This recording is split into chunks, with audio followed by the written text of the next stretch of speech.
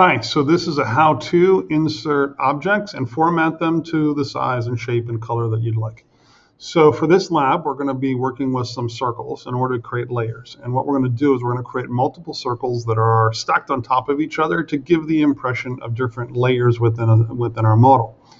So we need to be able to insert some circles. So to start off with, there's a couple different ways we can do this. You can either go to the Insert, Shape, Shapes, oval tool, or you can just use the shape tool in the toolbar. So I'm going to insert some circles by using the oval tool.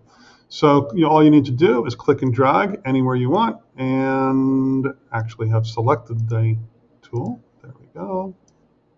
And there's my circle. All right, so we need to format this circle in order to um, in order for it to be what we want.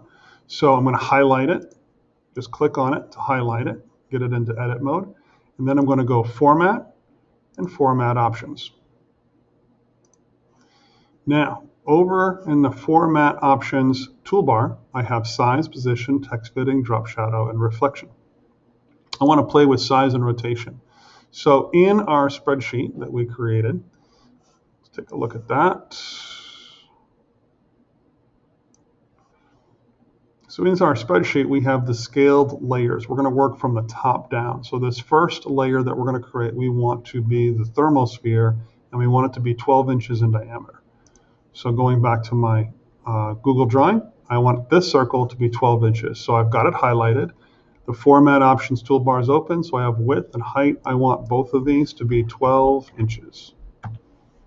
All right, so now I have this big circle. It's so big it goes off the grid, and that's totally okay for right now.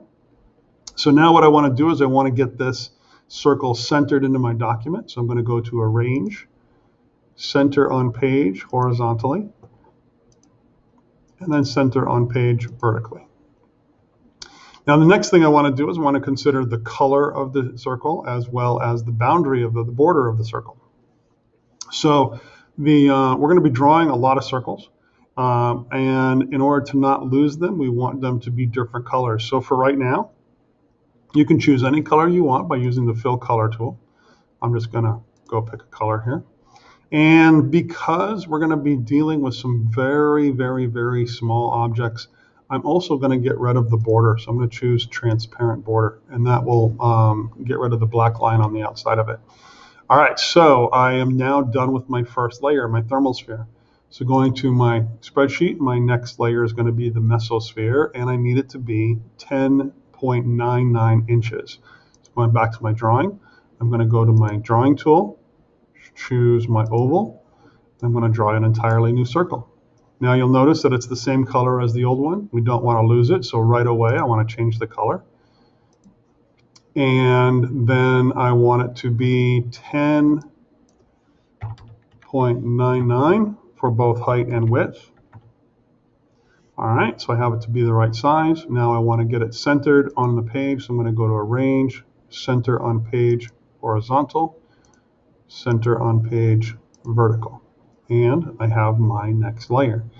So basically, you need to create a new circle for every layer until you've completed all the ones from thermosphere to inner core.